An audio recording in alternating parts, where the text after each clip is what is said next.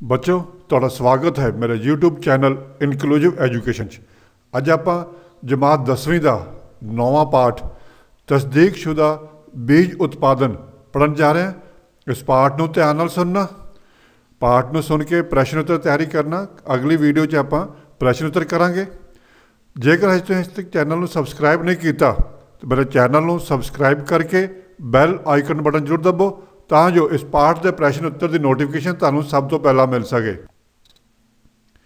ਬੱਚੋ, ਕਿਸੇ ਵੀ ਫਸਲ ਤੋਂ ਵਧੇਰੇ ਝਾੜ ਲੈਣ ਲਈ ਵਧੀਆ ਕੁਆਲਿਟੀ ਦਾ ਬੀਜ ਇੱਕ ਮੁੱਢਲੀ ਜ਼ਰੂਰਤ ਹੈ। ਚੰਗੇ ਬੀਜਾਂ ਦਾ ਅਹਿਸਾਸ ਕਿਸਾਨਾਂ ਨੂੰ 50 ਸਾਲ ਪਹਿਲਾਂ ਉਸ ਵੇਲੇ ਹੋਇਆ ਸੀ ਜਦ ਮੈਕਸੀਕਨ ਕਣਕ ਦੀਆਂ ਮਧਰੇ ਕੱਦ ਵਾਲੀਆਂ ਕਿਸਮਾਂ ਲਰ, ਰੋਹੇ ਅਤੇ ਸੋਨਾਰਾ 64 ਦੀ ਉਹਨਾਂ ਨੇ ਪਹਿਲੀ ਵਾਰ ਕਾਸਤ 1965-66 ਵਿੱਚ ਕੀਤੀ ਸੀ। ਇਹਨਾਂ ਬੀਜਾਂ ਨੇ ਇੱਕਦਮ ਫਸਲ ਦਾ ਝਾੜ ਦੁੱਗਣਾ ਕਰ ਦਿੱਤਾ। ਇਹਨਾਂ ਬੀਜਾਂ ਦੀ ਬਦੌਲਤ ਹਰੀ ਕ੍ਰਾਂਤੀ ਦਾ ਮੁੱਢ ਵੱਜਾ ਅਤੇ ਇਹਨਾਂ ਬੀਜਾਂ ਨੇ ਪੰਜਾਬੀ ਕਿਸਾਨਾਂ ਦੀ ਸੋਚ ਬਦਲ ਕੇ ਰੱਖ ਦਿੱਤੀ। ਉਸ ਸਮੇਂ ਤੋਂ ਹੀ ਕਿਸਾਨ ਭਾਵੇਂ ਮਹਿੰਗੇ ਤੋਂ ਮਹਿੰਗਾ ਬੀਜ ਖਰੀਦਣ ਲਈ ਹਮੇਸ਼ਾ ਉਤਵਾਲਾ ਰਹਿੰਦਾ ਹੈ, ਪਰ ਬਹੁਤ ਸਾਰੇ ਕਿਸਾਨਾਂ ਦਾ ਬੀਜਾਂ ਦੀ ਕੁਆਲਿਟੀ ਬਾਰੇ ਗਿਆਨ ਅਜੇ ਵੀ ਅਧੂਰਾ ਹੈ। ਅਜੇ ਵੀ ਉਹ ਬੀਜਾਂ ਦੀ ਕੁਆਲਿਟੀ ਦੀ ਪਰਖ ਬੀਜਾਂ ਨੂੰ ਹਥੇਲੀ ਉੱਪਰ ਰੱਖ ਕੇ ਦੇਖ ਕੇ ਹੀ ਕਰਦਾ ਹੈ ਅਤੇ ਬੀਜਾਂ ਨੂੰ ਦੇ ਜਿਨਸੀ ਜੱਦੀ ਪੁਸ਼ਤੀ ਗੁਣਾ ਬਾਰੇ ਉਸ ਨੂੰ ਬਹੁਤ ਹੀ ਘੱਟ ਗਿਆਨ ਹੈ। ਬੀਜਾਂ ਦੀ ਕੁਆਲਿਟੀ ਕਈ ਗੁਣਾ ਤੇ ਨਿਰਭਰ ਕਰਦੀ ਹੈ, ਜਿਨ੍ਹਾਂ ਨੂੰ ਹੇਠ ਲਿਖੇ ਦੋ ਗਰੁੱਪਾਂ 'ਚ ਵੰਡਿਆ ਜਾ ਸਕਦਾ। ਹੈ ਪਹਿਲਾ ਬੀਜਾਂ ਦੇ ਬਾਹਰੀ ਦਿਖ ਵਾਲੇ ਗੁਣ। ਬੀਜ ਦਾ ਰੰਗ ਰੂਪ, ਆਕਾਰ, ਵਜਨ, ਟੁੱਟ ਭੱਜ ਰਹਿਤ ਬੀਜ, ਕੂੜਾ ਕਰਕਟ ਰਹਿਤ ਨਦੀਨ ਰਹਿਤ ਅਤੇ ਹੋਰ ਫਸਲਾਂ ਦੇ ਬੀਜਾਂ ਦੇ ਰਲੇਵੇ ਤੋਂ ਰਹਿਤ, ਬੀਜਾਂ ਨੂੰ ਚੰਗੀ ਕੁਆਲਿਟੀ ਦੇ ਸ਼ੁੱਧ ਬੀਜ ਮੰਨਿਆ ਜਾਂਦਾ ਹੈ। ਇਹ ਸਾਰੇ ਮਿਆਰ ਬਾਹਰੀ ਦਿੱਖ ਵਾਲੇ ਗੁਣਾਂ ਨਾਲ ਸੰਬੰਧਿਤ ਹੈ। ਬੀਜਾਂ ਦੀ ਉਗਣ ਸ਼ਕਤੀ ਅਜਿਹੇ ਗੁਣਾਂ ਤੇ ਨਿਰਭਰ ਕਰਦੀ ਹੈ। ਜੇਕਰ ਬੀਜ ਵਿੱਚ ਟੁੱਟੇ ਹੋਏ ਬੀਜ ਹਨ ਜਾਂ ਨਦੀਨਾਂ ਦੇ ਬੀਜ ਹਨ ਜਾਂ ਕੂੜਾ ਕਰਕਟ ਰਲੇ ਹੋਏ ਹਨ, ਤਾਂ ਅਜਿਹੇ ਬੀਜਾਂ ਤੋਂ ਫਸਲ ਦਾ ਪੂਰਾ ਕੰਮ ਨਹੀਂ ਲਿਆ ਜਾ ਸਕਦਾ, ਜਿਸ ਕਾਰਨ ਫਸਲ ਦਾ ਝਾੜ ਘਟਣ ਦਾ ਖਤਰਾ ਰਹਿੰਦਾ ਹੈ। ਦੂਜਾ, ਫਸਲਾਂ ਦੇ ਜੱਦੀ ਪੁਸਤ ਗੁਣ ਹੈਰੀਡਿਟਰੀ ਟ੍ਰੇਟ ਜਿਹੜੇ ਨੇ, ਬੀਜ ਨੂੰ ਬਾਹਰੋਂ ਦੇਖ ਕੇ ਅਸੀਂ ਜੱਦੀ ਪੁਸਤੀ ਗੁਣਾ ਦਾ ਅਨੁਮਾਨ ਨਹੀਂ ਲਾ ਸਕਦੇ। ਮਾਫ ਕਰਨਾ ਬੱਚੋ, ਇਹ ਅਜਿਹੇ ਗੁਣ ਹਨ ਜੋ ਬੀਜ ਰਾਹੀਂ ਇੱਕ ਫਸਲ ਤੋਂ ਅਗਲੀ ਫਸਲ ਵਿੱਚ ਪ੍ਰਵੇਸ਼ ਕਰਦੇ ਹਨ। ਇਸੇ ਕਰਕੇ ਇਹਨਾਂ ਨੂੰ ਨਸਲੀ ਗੁਣ ਵੀ ਕਿਹਾ ਜਾ ਸਕਦਾ ਹੈ। ਜਿਨ੍ਹਾਂ ਉੱਪਰ ਫਸਲ ਦਾ ਝਾੜ ਨਿਰਭਰ ਕਰਦਾ ਹੈ। ਮਿਸਾਲ ਦੇ ਤੌਰ ਤੇ ਕਣਕ ਦੀ ਫਸਲ ਦੇ ਝਾੜ ਉੱਪਰ ਅਸਰ ਪਾਉਣ ਵਾਲੇ ਮਹੱਤਵਪੂਰਨ ਜੱਦੀ ਪੁਸ਼ਤੀ ਗੁਣ ਇਹ ਹਨ। ਪ੍ਰਤੀ ਪੌਦਾ ਸਾਖਾਂ ਦੀ ਗਿਣਤੀ, ਛਿੱਟੇ ਦੀ ਲੰਬਾਈ, ਪ੍ਰਤੀ ਛਿੱਟਾ ਦਾਣਿਆਂ ਦੀ ਗਿਣਤੀ, ਦਾਣਿਆਂ ਦਾ ਵਜਨ, ਬਿਮਾਰੀਆਂ ਦਾ ਟਾਕਰਾ ਕਰਨ ਦੀ ਸਮਰੱਥਾ ਅਤੇ ਫਸਲ ਪੱਕਣ ਲਈ ਸਮਾਂ ਆਦਿ। ਕਣਕ ਦੀਆਂ ਕੁਝ ਨਵੀਆਂ ਕਿਸਮਾਂ ਆਈਆਂ ਹਨ, ਜਿਵੇਂ ਕਿ PBW 677 HD 3086 WH 1105 PBW 621 ਆਦਿ। ਇਹਨਾਂ ਕਿਸਮਾਂ ਨੂੰ ਬਿਮਾਰੀਆਂ ਘੱਟ ਲੱਗਦੀਆਂ ਹਨ ਅਤੇ ਝਾੜ ਜ਼ਿਆਦਾ ਨਿਕਲਦਾ ਹੈ, ਜੋ ਕਿ ਚੰਗੇ ਜੱਦੀ ਪੁਸ਼ਤੀ ਗੁਣਾਂ ਦੀ ਬਦੌਲਤ ਹੈ। ਵੱਖ-ਵੱਖ ਫਸਲਾਂ ਦੇ ਜੱਦੀ ਪੁਸ਼ਤੀ ਗੁਣ ਵੱਖ-ਵੱਖ ਹੁੰਦੇ ਹਨ। ਨਰਮੇ ਕਪਾਹ ਦੇ ਅਜੇ ਗੁਣ ਇਸ ਪ੍ਰਕਾਰ ਹਨ। ਉਹ ਜੇ ਨਰਮੇ ਦੇ ਪ੍ਰਤੀ ਪੌਦਾ ਟਿੰਡਿਆਂ ਦੀ ਗਿਣਤੀ, ਹੱਡੀਆਂ ਦਾ ਔਸਤ ਵਜਨ ਫਲਦਾਰ ਟਾਹਣੀਆਂ ਦੀ ਗਿਣਤੀ ਆਦ, ਮੱਕੀ ਦੀ ਫਸਲ ਦੇ ਅਜਿਹੇ ਮਹੱਤਵਪੂਰਨ ਇਸ ਪ੍ਰਕਾਰ ਹਨ। ਛੱਲੀ ਦੀ ਲੰਬਾਈ ਅਤੇ ਮੋਟਾਈ, ਪ੍ਰਤੀ ਛੱਲੀ ਦਾਣਿਆਂ ਦੀ ਔਸਤ ਗਿਣਤੀ, ਹਜ਼ਾਰ ਦਾਣਿਆਂ ਦੀ ਔਸਤ ਵਜਨ, ਪੱਕਣ ਲਈ ਸਮਾਂ ਅਤੇ ਬਿਮਾਰੀਆਂ ਦੇ ਟਾਕਰ ਕਰਨ ਦਾ ਸਮਰੱਥਾ ਆਦਿ। ਕਿਸੇ ਫਸਲ ਦੀ ਅਲੱਗ-ਅਲੱਗ ਕਿਸਮਾਂ ਵਿੱਚ ਜੋ ਅੰਤਰ ਦਿਖਾਈ ਦਿੰਦਾ ਹੈ, ਉਹ ਅਜਿਹੇ ਗੁਣਾ ਕਰਕੇ ਹੀ ਹੁੰਦਾ ਹੈ। ਸਾਰਾਂਸ਼ ਵਿੱਚ ਆਪਾਂ ਇਹ ਕਹਿ ਸਕਦੇ ਹਾਂ ਕਿ ਫਸਲ ਦਾ ਝਾੜ ਜੱਦੀ ਪੁਸ਼ਤੀ ਗੁਣਾ ਉੱਪਰ ਨਿਰਭਰ ਕਰਦਾ ਹੈ। ਵੱਖ-ਵੱਖ ਫਸਲ ਦੀਆਂ ਸਿਫਾਰਸ਼ਾਂ ਕੀਤੀਆਂ ਕਿਹੜੀਆਂ ਕਿਸਮਾਂ ਹਨ ਅਤੇ ਉਹਨਾਂ ਦੇ ਜੱਦੀ ਪੁਸ਼ਤੀਗਣ ਕਿਹੋ ਜਿਹੇ ਹਨ, ਇਸ ਬਾਰੇ ਵਿਸਤਾਰਪੂਰਵਕ ਜਾਣਕਾਰੀ ਪੰਜਾਬ ਖੇਤੀਬਾੜੀ ਯੂਨੀਵਰਸਿਟੀ ਲੁਧਿਆਣਾ ਵੱਲੋਂ ਛਾਪੀ ਜਾਂਦੀ ਕਿਤਾਬ ਪੰਜਾਬ ਦੀਆਂ ਫਸਲਾਂ ਲਈ ਸਿਫਾਰਸ਼ਾਂ ਵਿੱਚੋਂ ਲਈ ਜਾ ਸਕਦੀ ਹੈ। ਫਿਰ ਵੱਖ-ਵੱਖ ਕਿਸਮਾਂ ਦੇ ਨਸਲੀ ਗੁਣਾਂ ਬਾਰੇ ਵਿਚਾਰ ਕਰਨ ਉਪਰੰਤ ਆਪਣੇ ਇਲਾਕੇ ਲਈ ਢੁਕਵੀਂ ਕਿਸਮ ਦੀ ਚੋਣ ਕਿਸਾਨਾਂ ਨੂੰ ਕਰਨੀ ਚਾਹੀਦੀ ਹੈ। ਇਸ ਲਈ ਸਹੀ ਕਿਸਮ ਦਾ ਬੀਜ ਖਰੀਦਣ ਲਈ ਇਹ ਜ਼ਰੂਰੀ ਹੈ ਕਿ ਉਸ ਕਿਸਮ ਦਾ ਤਸਦੀਕਸ਼ੁਦਾ ਬੀਜ ਕਿਸੇ ਭਰੋਸੇਯੋਗ ਅਦਾਰੇ ਤੋਂ ਖਰੀਦਿਆ ਜਾਵੇ। ਤਸਦੀਕਸ਼ੁਦਾ ਬੀਜ ਕੀ ਹੁੰਦਾ ਹੈ? ਅਜਿਹੇ ਬੀਜ ਜਾਂ ਪੌਦੇ ਦੇ ਉਹ ਭਾਗ ਜਿਵੇਂ ਕਿ ਜੜਾਂ ਤਣਾ, ਟਿਊਬਰ, ਗੰਡੀਆਂ, ਸਕਰਸ਼ ਆਦਿ, ਜਿਨ੍ਹਾਂ ਨੂੰ ਬੀਜਣ ਉਪਰੰਤ ਨਵੀਂ ਫਸਲ ਪੈਦਾ ਕੀਤੀ ਜਾਂਦੀ ਹੈ। ਇਹਨਾਂ ਸਭ ਨੂੰ ਬੀਜ ਕਿਹਾ ਜਾਂਦਾ ਹੈ। ਉਹ ਬੀਜ ਜੋ ਮਿੱਥੇ ਹੋਏ ਮਿਆਰਾਂ ਮੁਤਾਬਿਕ ਪੰਜਾਬ ਰਾਜ ਬੀਜ ਪ੍ਰਮਾਣਿਤ ਸੰਸਥਾ ਦੀ ਨਿਗਰਾਨੀ ਅਧੀਨ ਪੈਦਾ ਕੀਤੇ ਜਾਂਦੇ ਹਨ। ਸਰਟੀਫਾਈਡ ਬੀਜ ਜਾਂ ਤਸਦੀਕਸ਼ੁਦਾ ਬੀਜ ਅਖਵਾਉਂਦੇ ਹਨ। ਫਿਰ ਤਸਦੀਕਸ਼ੁਦਾ ਬੀਜਾਂ ਦੇ ਗੁਣ ਕੀ ਹੁੰਦੇ ਹਨ? ਆਪਾਂ ਕਿਸ ਤਰ੍ਹਾਂ ਪਛਾਣ ਸਕਦੇ ਹਾਂ ਕਿ ਇਹ ਤਸਦੀਕਸ਼ੁਦਾ ਬੀਜ ਨੇ? ਪਹਿਲਾ, ਪ੍ਰਮਾਣਿਤ ਬੀਜ ਨਿਰੋਲ ਤੇ ਨਿਸ਼ਚਿਤ ਸ਼ੁੱਧਤਾ ਵਾਲਾ ਹੁੰਦਾ ਹੈ। ਫਿਰ ਪ੍ਰਮਾਣਿਤ ਬੀਜ ਬਿਮਾਰੀ ਅਤੇ ਨਦੀਨਾਂ ਦੇ ਬੀਜਾਂ ਤੋਂ ਰਹਿਤ ਹੁੰਦਾ ਹੈ। ਪ੍ਰਮਾਣਿਤ ਬੀਜ ਨਿਸ਼ਚਿਤ ਉਗਣ ਸ਼ਕਤੀ ਵਾਲਾ ਹੁੰਦਾ ਹੈ। ਆਮ ਬੀਜ ਵਿੱਚ ਗਿਣ ਨਹੀਂ ਹੁੰਦੇ। ਮਿਸਾਲ ਮਿਸਾਲ ਵਜੋਂ ਝੋਨੇ ਦੇ ਤਸਦੀਕਸ਼ੁਦਾ ਬੀਜ ਦੀ ਸ਼ੁੱਧਤਾ 98% ਤੋਂ ਘੱਟ ਉਗਣ ਸ਼ਕਤੀ 80% ਤੋਂ ਘੱਟ ਅਤੇ ਨਮੀ 13% ਤੋਂ ਵੱਧ ਨਹੀਂ ਹੋਣੀ ਚਾਹੀਦੀ।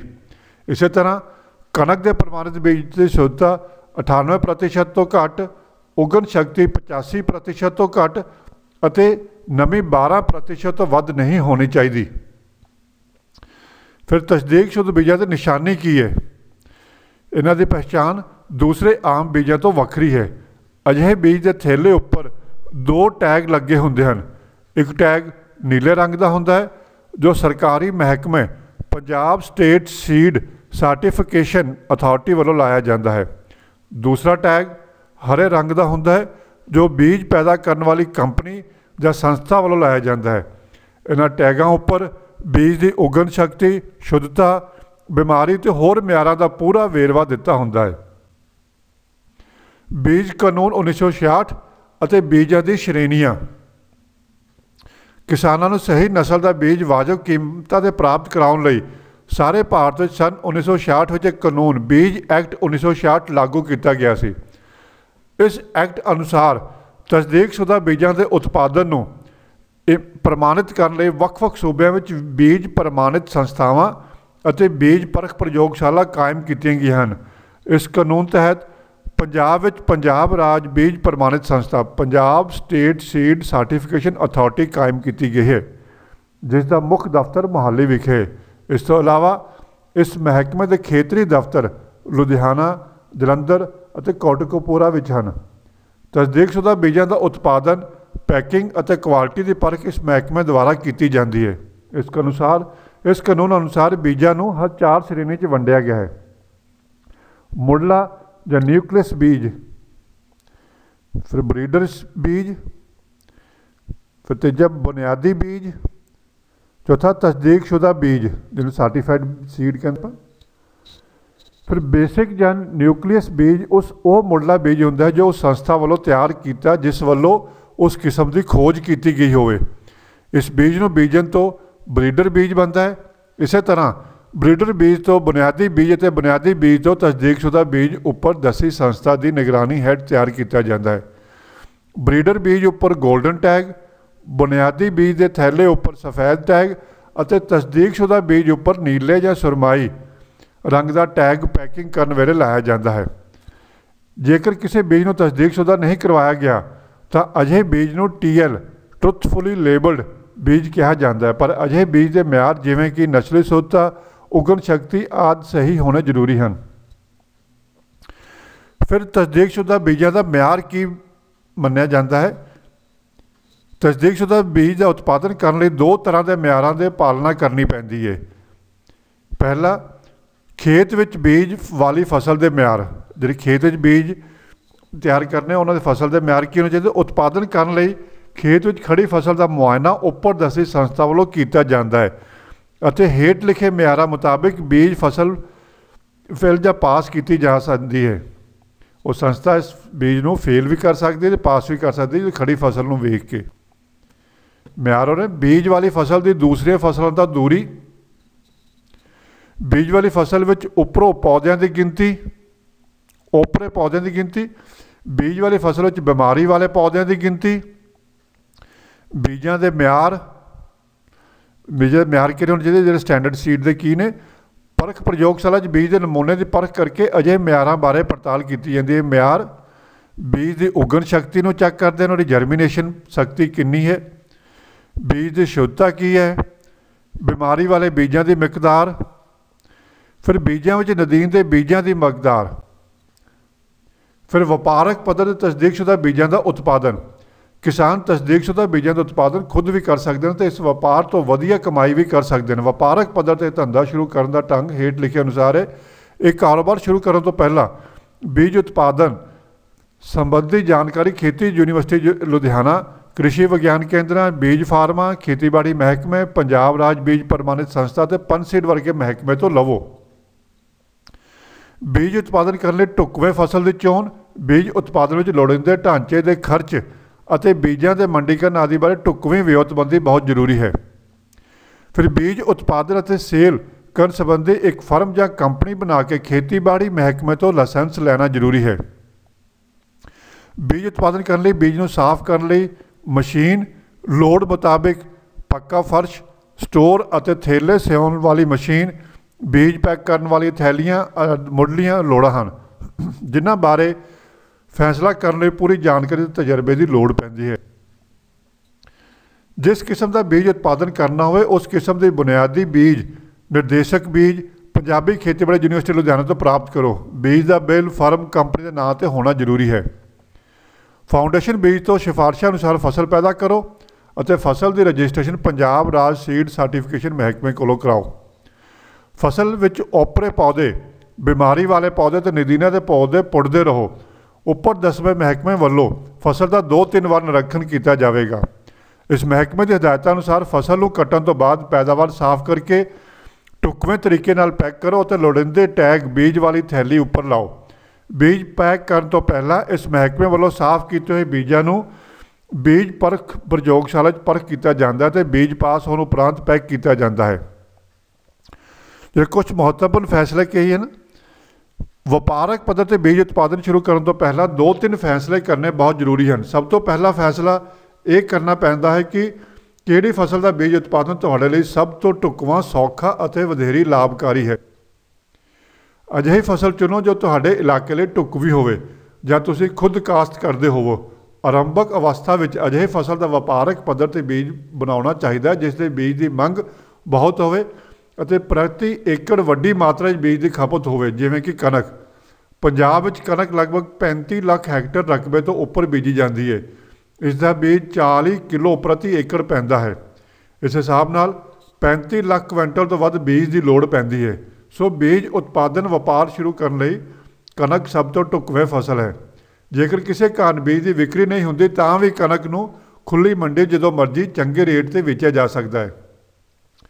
ਚੰਗਾ ਹੋਵੇਗਾ ਜੇ ਤੁਸੀਂ ਇਹ ਧੰਦਾ ਸ਼ੁਰੂ ਕਰਨ ਤੋਂ ਪਹਿਲਾਂ 1 ਸਾਲ ਪੰਸੀਡ ਦੇ ਰਜਿਸਟਰਡ ਕਿਸਾਨ ਬਣੋ ਅਤੇ ਕਣਕ ਜਾਂ ਝੋਨੇ ਦਾ ਆਪਣੇ ਖੇਤਾਂ 'ਚ ਬੀਜ ਤਿਆਰ ਕਰਕੇ ਵਾਪਸ ਪੰਸੀਡ ਨੂੰ ਦਿਓ। ਇਸ ਤਰ੍ਹਾਂ ਕਣਕ ਦੇ ਬੀਜ ਤਿਆਰ ਕਰਨ ਤੇ ਪੰਸੀਡ ਵੱਲੋਂ 250 ਰੁਪਏ ਪ੍ਰਤੀ ਕੁਇੰਟਲ ਕਿਸਾਨਾਂ ਨੂੰ ਸਰਕਾਰੀ ਮਿੱਥੇ ਰੇਟ ਤੋਂ ਵੱਧ ਦਿੱਤਾ ਜਾ ਰਿਹਾ ਹੈ। ਇੱਕ ਸਾਲ ਵਿੱਚ ਇਸ ਤਰ੍ਹਾਂ ਤਜਰਬੇ ਤੋਂ ਤੁਹਾਨੂੰ ਬਹੁਤ ਕੁਝ ਸਿੱਖਣ ਨੂੰ ਮਿਲੇਗਾ ਤੇ ਨਾਲੇ ਆਮਦਨੀ ਵਧੇਰੇ ਹੋਵੇਗੀ। ਇਸੇ ਤਰ੍ਹਾਂ ਝੋਨੇ ਦੇ ਬੀਜ ਉਤਪਾਦਨ ਵਿੱਚ ਵੀ ਸਰਕਾਰੀ ਮਿੱਥੇ ਰੇਟ ਤੋਂ ਲਗਭਗ 200 ਰੁਪਏ ਪ੍ਰਤੀ ਕੁਇੰਟਲ ਵੱਧ ਰੇਟ ਉੱਪਰ ਝੋਨੇ ਦਾ ਬੀਜ ਕਿਸਾਨਾਂ ਤੋਂ ਵਾਪਸ ਪਨਸਿਡ ਖਰੀਦ ਰਹੀ ਹੈ। ਕਈ ਹੋਰ ਸਰਕਾਰੀ, ਅਰਧ ਸਰਕਾਰੀ ਅਦਾਰੇ ਵੀ ਇਸੇ ਵਿਧੀ ਨਾਲ ਕਿਸਾਨਾਂ ਦੇ ਖੇਤਾਂ ਉੱਪਰ ਬੀਜ ਉਤਪਾਦਨ ਕਰ ਰਹੇ ਹਨ। ਇਸ ਤੋਂ ਅਗਲਾ, ਦੂਸਰਾ ਮਹੱਤਵਪੂਰਨ ਫੈਸਲਾ ਜੋ ਤੁਸੀਂ ਕਰਨਾ ਹੈ, ਉਹ ਹੈ ਕਿ ਬੀਜਾਂ ਦੇ ਕਿਸ ਖੇਤਰ ਵਿੱਚ ਤੁਸੀਂ ਕੰਮ ਕਰਨਾ ਹੈ। ਬਹੁਤ ਤਰ੍ਹਾਂ ਦੇ ਬੀਜ ਹਨ, ਜਿਵੇਂ ਕਿ ਆਮ ਫਸਲਾਂ ਦੇ ਬੀਜ, ਫੁੱਲਾਂ ਦੇ ਬੀਜ, ਸਬਜ਼ੀਆਂ ਦੇ ਬੀਜ ਆਦਿ। ਜੋ ਵੀ ਖੇਤਰ ਤੁਸੀਂ ਅਪਣਾਉਣਾ ਹੋਵੇ ਉਸ ਦੇ ਚੰਗੀ ਤਰ੍ਹਾਂ ਖੋਖ ਕਰਕੇ ਪੂਰੀ ਜਾਣਕਾਰੀ ਲੈ ਕੇ ਤੇ ਟੁਕਵੀਂ ਟ੍ਰੇਨਿੰਗ ਲੈਣ ਤੋਂ ਬਾਅਦ ਕਾਰੋਬਾਰ ਸ਼ੁਰੂ ਕਰਨਾ ਚਾਹੀਦਾ ਹੈ। ਫਿਰ ਇੱਕ ਹੋਰ ਖੇਤਰ ਹੈ ਹਾਈਬ੍ਰਿਡ ਬੀਜਾਂ ਦਾ। ਤੁਹਾਨੂੰ ਪਤਾ ਹੀ ਹੈ ਕਿੰਨੇ ਮਹਿੰਗੇ ਹਨ ਇਹ ਬੀਜ ਅਤੇ ਅਜਿਹੇ ਬੀਜਾਂ ਦੀ ਮੰਗ ਬਾਰੇ ਵੀ ਤੁਸੀਂ ਜਾਣਦੇ ਹੀ ਹੋ। ਮਲਟੀਨੈਸ਼ਨਲ ਕੰਪਨੀਆਂ ਹਾਈਬ੍ਰਿਡ ਬੀਜਾਂ ਦਾ ਕਰੋੜਾਂ ਅਰਬਾਂ ਰੁਪਏ ਦਾ ਕਾਰੋਬਾਰ ਕਰ ਰਹੀਆਂ ਹਨ। ਤੁਸੀਂ ਵੀ ਅਜਿਹਾ ਕਰ ਸਕਦੇ ਹੋ। ਪਰ ਇਸ ਮੁਕਾਮ ਤੇ ਪਹੁੰਚਣ ਲਈ ਤੁਹਾਨੂੰ ਮਿਹਨਤ ਕਰਨੀ ਪਵੇਗੀ। ਸਬਰ ਨਾਲ ਮਹਾਰਤ ਹਾਸਲ ਕਰਨੀ ਪਵੇਗੀ।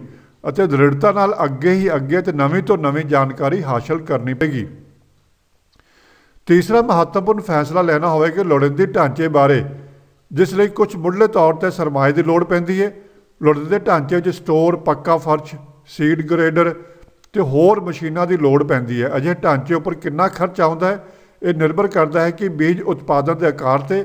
ਇਸ ਤੋਂ ਇਲਾਵਾ ਜੇ ਤੁਸੀਂ ਹੋਰਨਾਂ ਕਿਸਾਨਾਂ ਦੇ ਖੇਤਾਂ ਵਿੱਚ ਅਧਿਕਸ਼ਤਾ ਬੀਜ ਪੈਦਾ ਕਰਵਾ ਕੇ ਉਹ ਵਾਪਸ ਖਰੀਦਣਾ ਤਾਂ ਉਸ ਲਈ ਵੀ ਤੁਹਾਨੂੰ ਕੁਝ ਸਰਮਾਏ ਦੀ ਲੋੜ ਪਵੇਗੀ ਮੁੱਖ ਦੀ ਗੱਲ ਇਹ ਹੈ ਕਿ ਇਹੋ ਜਿਹੇ ਫੈਸਲੇ ਕਦੇ ਵੀ ਕਾਲ ਵਿੱਚ ਨਹੀਂ ਲੈਣੇ ਚਾਹੀਦੇ ਅਤੇ ਸੰਬੰਧਿਤ ਮਹਿਕਮੇ ਨਾਲ ਅਤੇ ਜੋ ਮਾਹਿਰ ਕਿਸਾਨ ਪਹਿਲਾਂ ਤੋਂ ਇਸ ਕਾਰੋਬਾਰ ਵਿੱਚ ਲੱਗੇ ਹੋਏ ਹਨ ਉਹਨਾਂ ਨਾਲ ਸਲਾਹ مشورہ ਕਰਕੇ ਸਹੀ ਫੈਸਲੇ ਲੈਣੇ ਚਾਹੀਦੇ ਹਨ ਫਿਰ ਵੀ ਕਾਮਯਾਬੀ ਹਾਸਲ ਹੋ ਸਕਦੀ ਹੈ ਨਫੇ ਅਤੇ ਨੁਕਸਾਨ ਦੀ ਸੰਭਾਵਨਾ ਅਤੇ ਮੰਡੀਕਰਨ ਸਰਟੀਫਾਈਡ ਬੀਜ ਉਤਪਾਦਨ ਦਾ ਧੰਦਾ ਬਹੁਤ ਲਾਭਕਾਰੀ ਧੰਦਾ ਹੈ ਸਰਟੀਫਾਈਡ ਬੀਜਾਂ ਦੇ ਭਾਵ, ਆਮ ਬੀਜਾਂ ਦੇ ਭਾਵ ਨਾਲੋਂ ਹਮੇਸ਼ਾ ਹੀ ਵੱਧ ਹੁੰਦੇ ਹਨ। ਸਰਟੀਫਾਈਡ ਬੀਜ ਉਤਪਾਦਨ ਵਿੱਚ ਕਈ ਪ੍ਰਕਾਰ ਦੇ ਖਰਚੇ ਕਰਨੇ ਪੈਂਦੇ ਜਿਵੇਂ ਕਿ ਫਾਊਂਡੇਸ਼ਨ ਬੀਜ ਉੱਪਰ ਸਰਟੀਫਿਕੇਸ਼ਨ ਫੀਸ ਉਪਰੇ ਪੌਦੇ ਕੱਢਣ ਲਈ ਲੇਬਰ ਬੀਜ ਗ੍ਰੇਡਿੰਗ ਬੀਜ ਪੈਕਿੰਗ ਟੈਗ ਸੀਲ ਅਤੇ ਬੀਜ ਸਟੋਰ ਕਰਨ ਉੱਪਰ ਖਰਚੇ ਆਦਿ। ਇੱਕ ਮੋٹے ਅੰਦਾਜ਼ੇ ਅਨੁਸਾਰ ਕਣਕ ਤੇ ਝੋਨੇ ਦੇ ਬੀਜ ਉਤਪਾਦਨ ਵਿੱਚ ਲਗਭਗ 200 ਰੁਪਏ ਪ੍ਰਤੀ ਕੁਇੰਟਲ ਬੀਜ ਦੇ ਹਿਸਾਬ ਨਾਲ ਅਜੇ ਖਰਚੇ ਹੋ ਜਾਂਦੇ ਹਨ। ਅਪ੍ਰੈਲ 2015 ਵਿੱਚ ਕਣਕ ਦੇ ਸਰਕਾਰੀ ਖਰੀਦ ਮਿਲ। 1450 ਰੁਪਏ ਪ੍ਰਤੀ ਕੁਇੰਟਲ ਵਿੱਚ ਇਹ ਖਰਚੇ ਸ਼ਾਮਲ ਕਰਕੇ ਸਰਟੀਫਾਈਡ ਬੀਜ ਦੇ ਕੁੱਲ ਲਾਗਤ ਮੁੱਲ 1650 ਰੁਪਏ ਪ੍ਰਤੀ ਕੁਇੰਟਲ ਬਣਦਾ ਹੈ। ਜਦਕਿ ਮਾਰਕੀਟ ਵਿੱਚ ਕਣਕ ਦਾ ਤਸਦੀਕਸ਼ੁਦਾ ਬੀਜ 2200 ਰੁਪਏ ਪ੍ਰਤੀ ਕੁਇੰਟਲ ਤੋਂ ਵੀ ਉੱਪਰ ਵਿਕ ਰਹੇ ਹਨ। ਇਹਨਾਂ ਆંકੜਿਆਂ ਤੋਂ ਪਰਥਕ ਪ੍ਰਤੱਖ ਹੋ ਜਾਂਦਾ ਹੈ ਕਿ ਬੀਜ ਉਤਪਾਦਨ ਅਤੇ ਖਾਸ ਕਰਕੇ ਹਾਈਬ੍ਰਿਡ ਬੀਜ ਉਤਪਾਦਨ ਬਹੁਤ ਲਾਭਕਾਰੀ ਧੰਦਾ ਹੈ। ਤਸਦੀਕਸ਼ੁਦਾ ਦੀ ਬੀਜਾਂ ਦੀ ਬਹੁਤ ਮੰਗ ਹੈ। ਪਿਛਲੇ ਕੁਝ ਸਾਲਾਂ ਤੋਂ ਪੰਜਾਬ ਸਰਕਾਰ ਵੱਲੋਂ ਵੀ ਪੰਸੀਡ ਰਾਹੀਂ ਤਸਦੀਕਸ਼ੁਦ ਬੀਜ ਸਿੱਧੇ ਤੌਰ ਤੇ ਖਰੀਦੇ ਜਾ ਰਹੇ ਹਨ ਅਤੇ ਬੀਜ ਉਤਪਾਦਕਾਂ ਨੂੰ 500 ਤੋਂ 600 ਰੁਪਏ ਪ੍ਰਤੀ ਕੁਇੰਟਲ ਦੇ ਹਿਸਾਬ ਨਾਲ ਕਣਕ ਦੇ ਬੀਜਾਂ ਉੱਪਰ ਸਬਸਿਡੀ ਦਿੱਤੀ ਜਾ ਰਹੀ ਹੈ। ਇਸ ਧੰਦੇ 'ਚ ਕੁਝ ਖਤਰੇ ਜਾਂ ਨੁਕਸਾਨ ਹੋਣ ਦਾ ਡਰ ਵੀ ਹੈ। ਜਿਵੇਂ ਕਿ ਬੀਜ ਅਨਵਿਕਿਆ ਰਹਿ ਸਕਦਾ ਹੈ ਜਾਂ ਫੇਲ ਹੋ ਸਕਦਾ ਪਰ ਅਨਵਿਕਿਆ ਰਹਿਣ ਦੀ ਸੰਭਾਵਨਾ ਬਹੁਤ ਘੱਟ ਹੈ ਕਿਉਂਕਿ ਬੀਜ ਦੀ ਜਿੰਨੀ ਮੰਗ ਹੈ ਉਹ ਪੂਰੀ ਨਹੀਂ ਹੋ ਰਹੀ। ਸੱਚ ਤਾਂ ਇਹ ਹੈ ਕਿ ਬੀਜ ਉਤਪਾਦਨ ਦਾ ਧੰਦਾ ਕਿਸਾਨਾਂ ਲਈ ਇੱਕ ਵਰਦਾਨ ਹੈ। ਖੁਸ਼ਹਾਲੀ ਦਾ ਮਾਰਗ ਹੈ ਅਤੇ ਇਸ ਨੂੰ ਅਪਣਾਉਣਾ ਚਾਹੀਦਾ ਹੈ।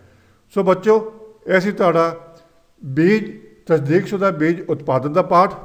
ਇਸ ਪਾਠ ਦੇ ਪ੍ਰਸ਼ਨ ਨੂੰ ਉੱਤਰ ਪ੍ਰਾਪਤ ਕਰਨ ਲਈ ਚੈਨਲ ਨੂੰ ਸਬਸਕ੍ਰਾਈਬ ਕਰਕੇ ਬੈਲ ਆਈਕਨ ਬਟਨ ਜ਼ਰੂਰ ਦਬੋ ਤਾਂ ਜੋ ਤੁਹਾਨੂੰ ਪ੍ਰਸ਼ਨ ਉੱਤਰਾਂ ਦੀ ਨੋਟੀਫਿਕੇਸ਼ਨ ਸਮੇਂ ਸਿਰ ਮਿਲ ਸਕੇ। ਧੰਨਵਾਦ।